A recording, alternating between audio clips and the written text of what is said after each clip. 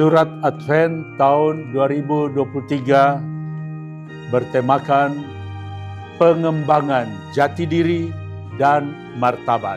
Yang terkasih para pastor, biarawan biarawati, pengurus Dewan Pastoral Paroki, Dewan Pastoral Stasi, wilayah rohani, kelompok kategorial, Bapak Ibu, saudara-saudari umat Katolik Kusupan Manado.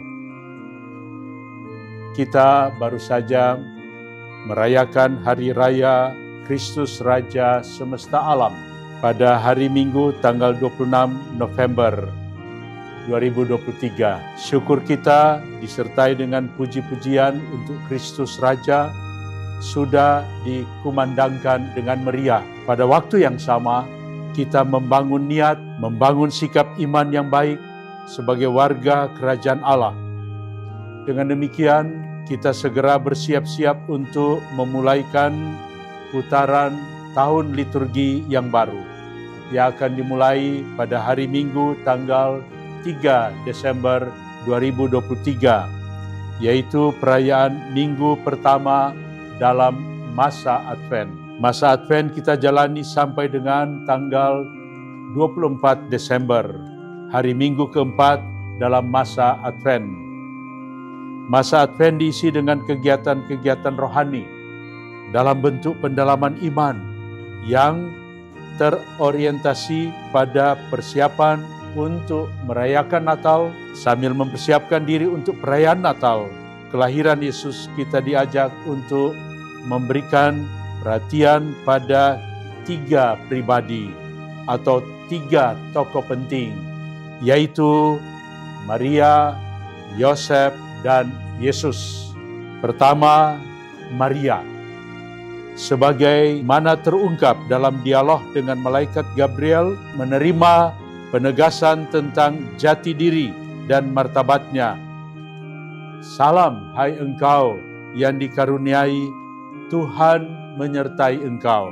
Engkau akan mengandung dan akan melahirkan seorang anak laki-laki. Terhadap penegasan itu, Maria mengambil sikap sebagaimana terungkap dalam jawabannya, Aku ini adalah hamba Tuhan, jadilah padaku menurut perkataanmu itu. Yang kedua, Yosef, sebagaimana terungkap dalam dialog dengan malaikat, menerima penegasan tentang jati diri dan martabatnya, Yusuf anak Daud, janganlah engkau takut mengambil Maria sebagai istrimu, Atas pencerahan itu, Yosef mengambil sikap. Sesudah bangun dari tidurnya, Yusuf berbuat seperti yang diperintahkan malaikat Tuhan itu kepadanya. Dan yang ketiga, tentang Yesus.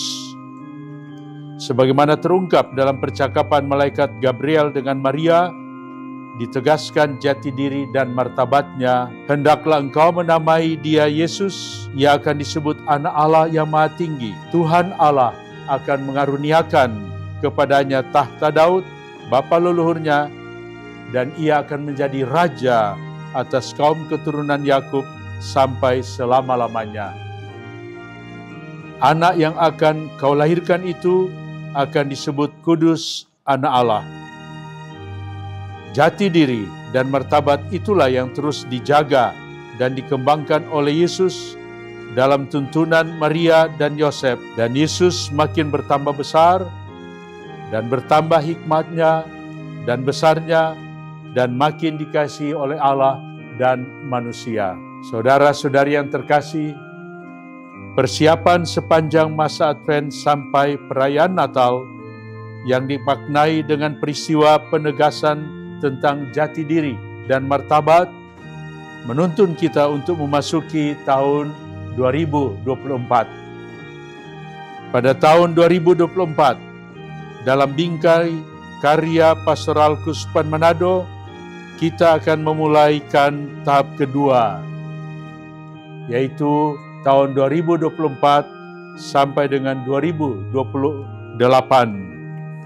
Dalam penahapan visi Kuspan Manado yaitu Gereja Kusupan Manado mengembangkan jati diri dan martabatnya dalam komunitas yang berbasis sabda, iman, persaudaraan, kerasulan, dan masyarakat.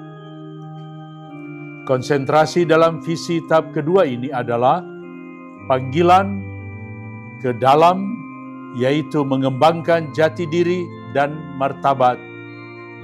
Dengan demikian kita segera meninggalkan tahap pertama tahun 2019 sampai dengan 2023 dalam penahapan visi Kuskupan Manado yaitu dalam terang sabda Allah Gereja Kuskupan Manado menata persekutuan yang menghidupkan dan yang saling membantu sebagai saudara.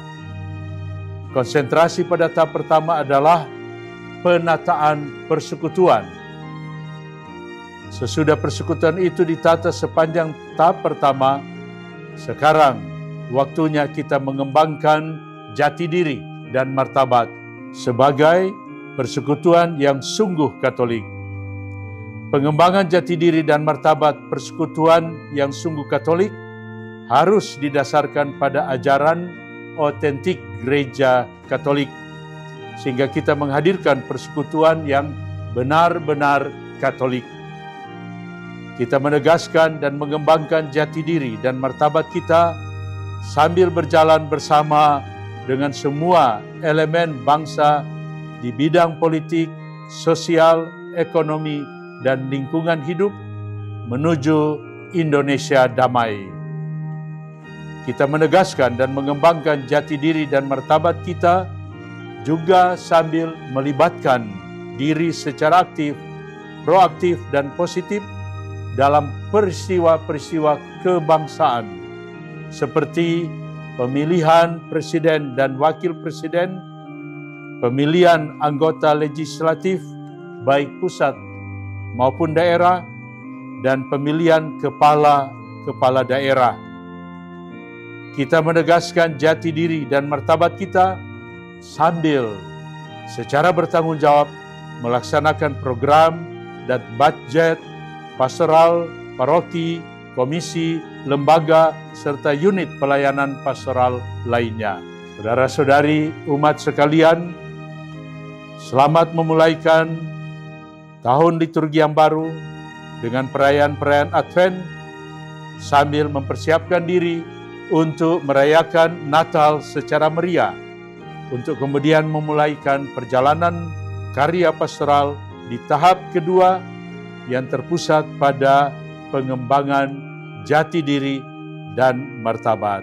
Disampaikan pada tanggal 29 November 2023 in lumine tuo fidemus lumen. Dalam terangmu kami melihat cahaya.